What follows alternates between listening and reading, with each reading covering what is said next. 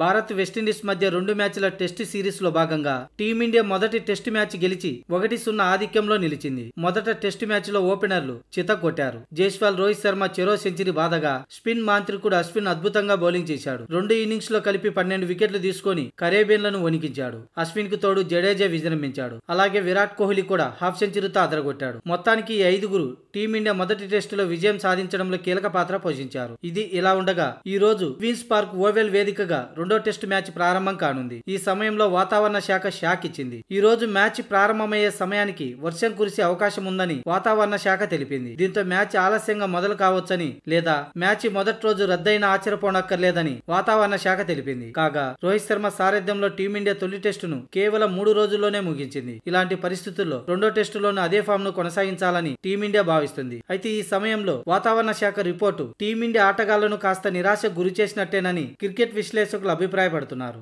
ఎందుకంటే క్వీన్స్ పార్క్లో జరిగే ఈ రెండో టెస్ట్ మ్యాచ్లో ప్రతిరోజు ఏదో ఒక సమయంలో వర్షం కురిసే అవకాశం ఉన్నట్లుగా వాతావరణ శాఖ వెల్లడించింది. దాంతో మ్యాచ్ పూర్తిగా జరిగేది అనుమానంగా మారింది. ఒకవేళ ఈ మ్యాచ్ రద్దయినా టీమిండియాకే సిరీస్ దక్కుతుంది.